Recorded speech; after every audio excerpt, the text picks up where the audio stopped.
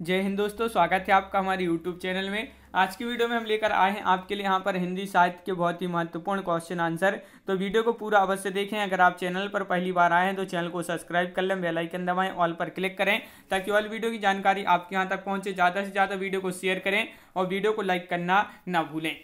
तो चलिए स्टार्ट करते हैं आज का अपना ये वीडियो आज का अपने यहाँ से फ़र्स्ट क्वेश्चन है। क्वेश्चन नंबर छत्तीस से कि हम्म, पद्मावत किस भाषा में लिखा गया है? ये आपके लिए बताना है क्वेश्चन नंबर छत्तीस का आंसर क्या होगा? पद्मावत किस भाषा में लिखा गया है? ये बताना है. ब्रज अवधि मैथिली या भ्रंश तो क्वेश्चन नंबर छत्तीस का आपका जो सही आंसर है वह है आपका अवधि. अवधि यानी कि विकल्प नंबर आपका सी यहाँ पर राइट आंसर है. क्वेश्चन नंबर सैंतीस आपसे यहाँ पर पूछा क्या है? पद्मावत के अनुच्छेदों का नाम है। तो अनुच्छेदों का नाम क्या है पद्मावत के? ये बताना है। सर्ग खंड, कांड या अंक। तो क्वेश्चन नंबर सैंतीस का आपका जो सही आंसर होगा सैंतीस का क्या होगा सही आंसर बताना है आपके लिए। महत्वपूर्ण क्वेश्चन है और इसका जो सही आंसर है भाई, आपका यहाँ पर राइट आंसर विकल्प नंबर सी यानी कि खंड खंड कहते हैं, खंड नाम है इनका तो विकल्प नंबर सी आपका यहाँ पर सही आंसर होगा। क्वेश्चन नंबर अड़तीस क्या पूछा गया है? तो क्वेश्चन नंबर अड़तीस आपका यहाँ पर दिया गया है। देखिए, ये है क्वेश्चन नंबर अड़तीस कि पद्मावत में रत्न सेन किसका प्रतीक है? किसका प्रतीक है रत्नसेन? मन, अहंकार, बुद्धि या हृदय? तो क्वेश्चन नंबर अड़तीस है और महत्वपूर्ण है। सभी लोग एक बार वीडियो को लाइक अवश्य करते जाएँगे यहाँ पर। और क्वेश्चन नंबर है अड़तीस। अड़तीस का सही आंसर आपका जो रत्न सेन है, ये पद्मावत में रत्न सेन ये किसके प्रतीक है? तो आपका सही आंसर है, ये मन का प्रतीक है। मन का प्रतीक है तो विकल्प नंबर एक आपका यहाँ पर सही आंसर है। पद्मावत में पद्मिनी प्रतीक है। ये आपके लिए बताना है क्वेश्चन नंबर उनतालीस में। पद्मावत में पद्म जो पद्मनी है, ये प्रतीक है। साधक का परम सत्ता की, शैतान की या प्रकृति की। तो क्वेश्चन नंबर उनतालीस का आपका यहाँ पर जो सही आंसर है, उनतालीस का वह है आपका यहाँ पर राइट आंसर उनतालीस का विकल्प नंबर सी यानी कि परम सत्ता की। विकल्प नंबर सी आपका यहाँ पर सही आंसर है परम सत्ता की आपका राइट आंसर है, ये आपका पीजीटी में पूछा गया है। पद्मावत में पद्मनी जो प्रतीक है परम सत्ता की है। क्वेश्चन नंबर चालीस क्या पूछा गया है? देखिए, इनमें से कौन सी कृति जायसी की अक्षय कीर्ति के आधार पर रची गई है? पद्मावत अखरावट आखिरी कलाम या उपरोक्त सभी क्वेश्चन नंबर चालीस का आंसर बताना है। चार विकल्प भी आपके यहाँ पर दिए गए हैं और चालीस का जो सही आंसर है वह बताना है तो बिल्कुल सही आंसर है जायसी। देखिए, इनमें से जायसी की कृति, अक्षय कृति के आधार पर रची गई है तो वह कौन सी कृति है? तो वह है आपकी पद्मावत। विकल्प नंबर एक आपका सही आंसर है। पद्मावत, पीजीटी परीक्षा 2015 में क्वेश्चन पूछा गया था आपका।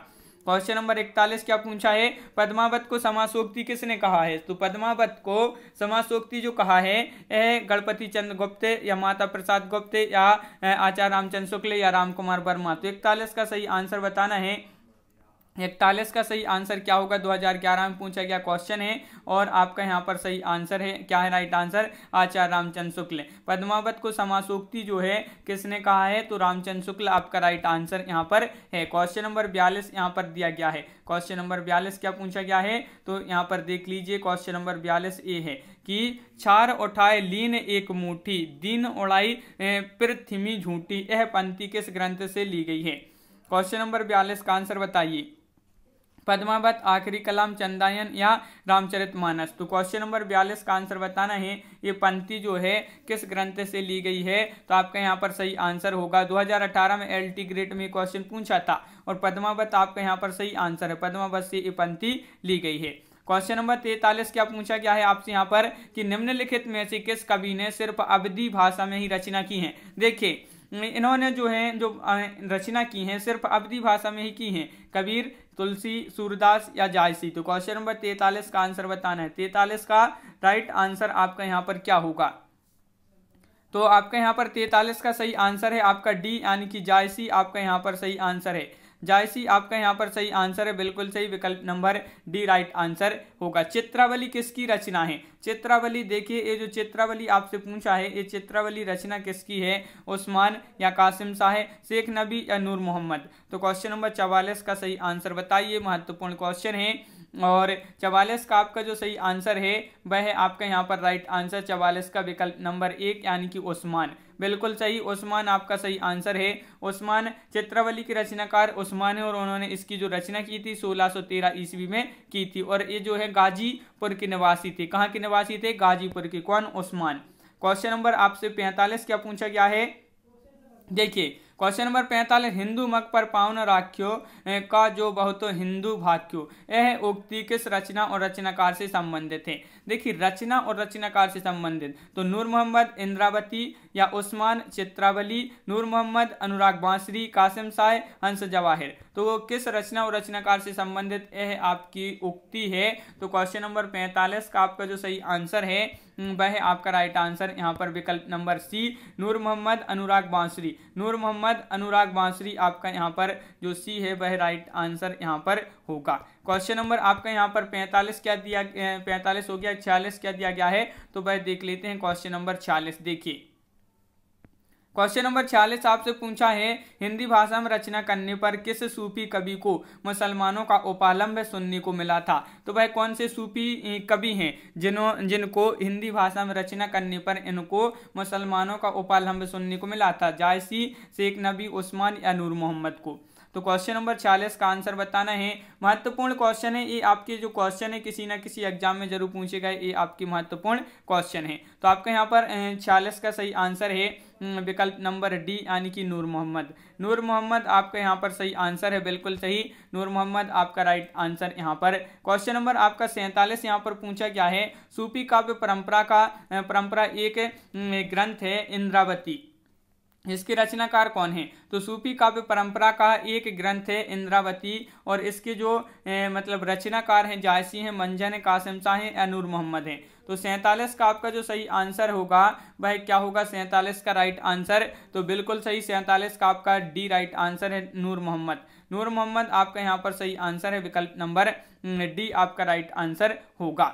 डी आपका राइट आंसर है अगला क्वेश्चन क्या पूछा गया है? तो यहाँ पर देखिए, राम भक्ति काव्य से संबंधित यहाँ पर अगला क्वेश्चन पूछा गया है आपसे कि स्वामी अग्रदास किस धारा काव्य धारा की कवि हैं? तो क्वेश्चन नंबर आपका फ़र्स्ट है। यहाँ पर राम भक्ति काव्य धारा से संबंधित महत्वपूर्ण क्वेश्चन पूछा गया है। स्वामी, अग्रदास किस काव्य धारा की कवि हैं? तो आपका यहाँ पर जो सही आंसर है क्वेश्चन नंबर है एक और इसका सही आंसर है।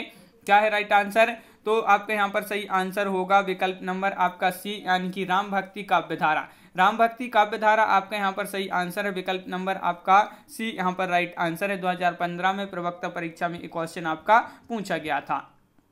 क्वेश्चन नंबर दो पूछा है। गोस्वामी जी के पिता का नाम था तो यहाँ पर आपके लिए बताना है। पीजीटी में ये क्वेश्चन आपका 2011 में पूछा गया। कि गोस्वामी जी के पिता का नाम था गंगाराम या देवता दीन या आत्माराम या इनमें से कोई नहीं। तो क्वेश्चन नंबर दो का आपका जो सही आंसर है हम्म, वह आपका यहाँ पर क्वेश्चन नंबर दो का विकल्प नंबर बी यानी कि आत्माराम आपका यहाँ पर सही आंसर है Atmaram right answer question number तीन क्या पूछा है? गोद लिए हुलसी फिर तुलसी सोसत हो यह पंक्ति इनमें से किस कवि की है? प्राणचंद्र चौहान रोत्तम दास नाबादास या रहीम?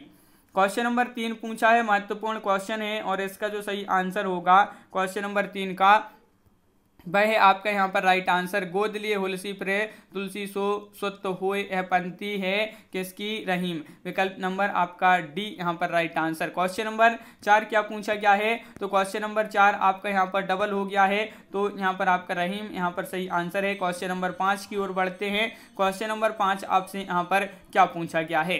तो देखिए क्वेश्चन नंबर पाँच आपका ये रहा। क्वेश्चन नंबर पाँच, तुलसी की भक्ति का स्वरूप क्या था? दास्य था, वात्सल्य था शक्य या मात्र? तो क्वेश्चन नंबर पाँच का आंसर बताना है। महत्वपूर्ण क्वेश्चन यहाँ पर पूछा गया है आपसे। चार विकल्प भी आपके यहाँ पर दिए गए हैं। 2011 में एक टीजीटी में पूछा गया क्वेश्चन है। तुलसी की भक्ति का स्वरूप जो था, वह था दास्य। कौन सा था? दास्य आपका यहाँ पर विकल्प नंबर एक यहाँ पर राइट आंसर है। क्वेश्चन नंबर आपका यहाँ पर छह पूछा है, अवधि भाषा के सर्वाधिक लोकप्रिय महाकाव्य का नाम बताना है। अवधि भाषा की बताना है आपके लिए, अवधि भाषा की। तो पद्मावत है, मृगावती है, मधुमालती या रामचरित मानस। तो क्वेश्चन नंबर आपका यहाँ पर छः जो है, वह क्या होगा? क्वेश्चन नंबर छः का राइट आंसर ये क्वेश्चन कई बार एग्ज़ाम में पूछा जा चुका क्वेश्चन है। अवधि भाषा के सर्वाधिक लोकप्रिय महाकाव्य का नाम है, वह है आपका रामचरितमानस कौन सा है? रामचरितमानस विकल्प नंबर डी, आपका राइट आंसर है। देखिए, अवधि भाषा का लोकप्रिय महाकाव्य है। रामकथा पर आधारित है, जिसकी रचना काशी चित्रकूट अयोध्या में हुई है। ये आपके लिए और इसकी रचना तुलसीदास जी ने की है तो तो आपके लिए पता होगा। क्वेश्चन आपका यहाँ पर सात क्या पूछा है? रामचरित मानस किस भाषा में लिखी गई है? राजस्थानी में, अवधि में, भोजपुरी में या ब्रज भाषा में। क्वेश्चन नंबर सात है और सात का राइट आंसर आपका क्या होगा? रामचरित मानस जो है आपके लिए बताना है किस भाषा में लिखी गई है तो बिल्कुल सही आंसर है आपका यहाँ पर विकल्प नंबर सी राइट आंसर है, यानी कि अवधि भाषा में। अवधि भाषा में लिखी गई है और इसमें सात कांड हैं। रामचरित मानस में कितने कांड हैं, अगर पूछा जाए तो इसमें सात कांड है। कौन कौन से? बाल कांड अयोध्या कांड अरण्य कांड किसकिदा कांड सुंदर कांड लंका कांड और उत्तर कांड इसमें सात कांड हैं। क्वेश्चन नंबर आपका यहाँ पर आठ क्या पूछा गया है? राम कथा पर आधारित तुलसीदास की महाकाव्य का नाम क्या है? राम कथा पर आधारित तुलसीदास के महाकाव्य का नाम क्या है? भारत मिलाप या राम रक्षा स्रोत रामचरितमानस या रामचंद्रिका? तो क्वेश्चन नंबर आपका यहाँ पर आठ पूछा गया है और आठ का सही आंसर है आपका यहाँ पर रामचरित मानस ये रामकथा पर आधारित तुलसीदास की महाकाव्य का नाम है, क्या है? रामचरित्र मानस आपका सही आंसर है। रामचरित मानस की जो भाषा है, ये अब भी आपने यहाँ पर पढ़ा था कि अवधि भाषा है, ये क्वेश्चन डबल हो चुका है। तो विकल्प नंबर एक आपका यहाँ पर सही आंसर होगा। ये आपका महत्वपूर्ण क्वेश्चन है, पूछा गया क्वेश्चन है पिछली परीक्षाओं में। क्वेश्चन नंबर बारह, आपसे क्या पूछ सॉरी क्वेश्चन नंबर दस है अपना यहाँ पर। तो क्वेश्चन नंबर दस पूछा है, गोस्वामी तुलसीदास ने रामचरित मानस की रचना किस संबत में की? देखिए, संबत में आपके लिए बताना है तो किस संबत में की थी गोस्वामी तुलसीदास जी ने रामचरित मानस की रचना? चार विकल्प दिए गए हैं और आपका यहाँ पर जो सही आंसर है क्वेश्चन नंबर दस का। वह विकल्प नंबर एक राइट आंसर है संबल संबत सोलह सौ इकतीस। आपका यहाँ पर सही आंसर होगा। विकल्प नंबर एक राइट आंसर। क्वेश्चन नंबर आपका यहाँ पर ग्यारह दिया है। रामचरित मानस में कुल कितने कांड हैं? अब भी बताया था यहाँ पर। कितने कांड हैं बताइए? पंद्रह हैं, सात हैं, दस हैं या आठ हैं? तो क्वेश्चन नंबर ग्यारह का सही आंसर बताना है। रामचरित मानस में कुल कितने कांड हैं? तो क्वेश्चन नंबर ग्यारह का राइट आंसर होगा। विकल्प नंबर सी यानी कि सात कांड हैं। कितने कांड हैं? सात कांड हैं, बिल्कुल सही। ये आपका यहाँ पर फिर से क्वेश्चन डबल हो गया। रामचरितमानस में कितने कांड है? तो सात कांड आपका राइट आंसर है। रामचरितमानस में यहाँ पर आपसे पूछा है क्वेश्चन नंबर तेरह। रामचरितमानस में विभत्स रस का प्रयोग किन कांडों में मिलता है? तो वह कांड बताना है। वह कौन से कांड है? पीजीटी में ये 2015 में एक क्वेश्चन पूछा गया था। तो इस रस का प्रयोग किन कांडों में मिलता है? तो क्वेश्चन नंबर तेरह का सही आंसर आप बताइए। महत्वपूर्ण क्वेश्चन है और इसका सही आंसर होगा तेरह का। अरण्य कांड और लंका कांड आपका यहाँ पर सही आंसर है। विकल्प नंबर एक आपका यहाँ पर सही आंसर होगा। क्वेश्चन नंबर आपका यहाँ पर चौदह क्या पूछा गया है कि इनमें से कौन सा महाकाव्य अवधि में लिखा गया है? अवधि में लिखा गया है तो प्रिय प्रवास, साकेत रामचरित या रामचंद्रिका? क्वेश्चन नंबर चौदह का सही आंसर है आपका यहाँ पर क्या है राइट आंसर इनमें से कौन सा महाकाव्य अवधि में लिखा गया है? अवधि में प्रिय प्रवास रामचरित मानस, साकेत या रामचंद्रिका? तो आपका यहाँ पर सही आंसर है। यहाँ पर रामचरित मानस, आपका यहाँ पर राइट आंसर होगा। रामचरित मानस जो है, अवधि में लिखा गया है और ये क्या है? महाकाव्य है। बिल्कुल सही। विकल्प नंबर आपका यहाँ पर सी राइट आंसर है। और आपका यहाँ पर जो क्वेश्चन नंबर पंद्रह क्या पूछा गया है भाई, देख लेते हैं। यहाँ पर क्वेश्चन नंबर पंद्रह आपका ये रहा कि यहाँ पर देख लेते हैं, ये आपका कि अर्थ न धर्म न काम रुचि, गति न चहुआ निर्वाण। जन्म जन्म रति राम पद, एह बरदानु न आन। रामचरित मानस में यह आकांक्षा निम्नलिखित में से किसकी है? भरत, सुग्रीव, सबरी या हनुमान? तो ये आकांक्षा है और किसकी है? ये आकांक्षा रामचरित मानस में यह आकांक्षा निम्नलिखित में से किसकी है? तो आपका सही आंसर है यहाँ पर विकल्प नंबर एक। भरत, आपका यहाँ पर राइट आंसर होगा। ये आपका जीआईसी प्रवक्ता परीक्षा 2015 में ये क्वेश्चन पूछा गया था तो विकल्प नंबर एक आपका राइट आंसर यहाँ पर है। अवधि और ब्रजभाषा दोनों में रचना करने वाले कवि कौन है? सूरदास हैं, घनानंद, तुलसीदास या उपरोक्त सभी? क्वेश्चन नंबर सोलह है, महत्वपूर्ण क्वेश्चन है आपका, यहाँ पर क्या होगा? राइट आंसर चार विकल्प दिए गए हैं। अवधि और ब्रज भाषा दोनों में रचना करने वाले कवि पूछा है तो आपका यहाँ पर सही आंसर होगा तुलसीदास। क्या है राइट आंसर तुलसीदास, आपका यहाँ पर सही आंसर बिल्कुल सही। अवधि और ब्रजभाषा दोनों में रचना करने वाले कवि गोस्वामी तुलसीदास हैं, और इन्हें हिंदी का जातीय कवि कहा जाता है। ये भी आपको याद रखना हिंदी का जातीय कवि किसको कहा जाता है? गोस्वामी तुलसीदास जी को। क्वेश्चन आपका यहाँ पर सत्रह पूछा गया है कि निम्न लिखित में से कौन सी रचना तुलसीदास की नहीं है? रामचंद्रिका, गीतावली, कवितावली, अभिनय पत्रिका। तो क्वेश्चन नंबर आपका यहाँ पर सत्रह है और सत्रह का सही आंसर आपका यहाँ पर जो होगा, वह क्या होगा?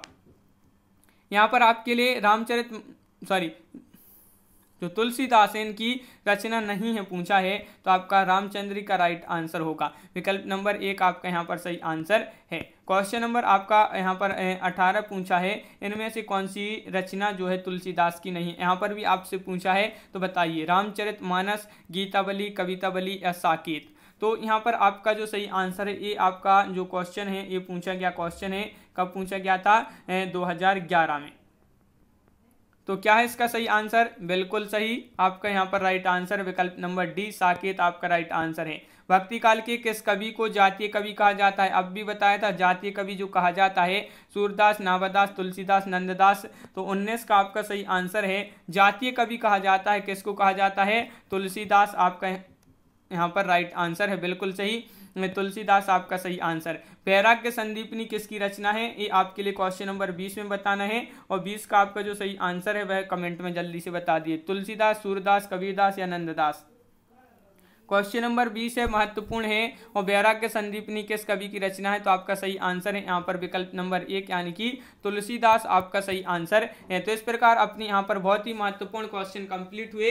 कैसा लगा ये वीडियो आप कमेंट में ज़रूर बताएँ। अगर आप चैनल पर पहली बार आए हैं तो चैनल को सब्सक्राइब कर लें, बेल आइकन दबाएँ, ऑल पर क्लिक करें, ताकि ऑल वीडियो की जानकारी सबसे पहले आपके यहाँ तक पहुँचे। ज़्यादा से ज़्यादा वीडियो को शेयर करना है, ताकि अन्य लोग भी यह वीडियो देख सकें और वीडियो को लाइक करना ना भूलें। तो आज की वीडियो में बस इतना ही। सभी के लिए बहुत बहुत धन्यवाद। सभी के लिए जय हिंद।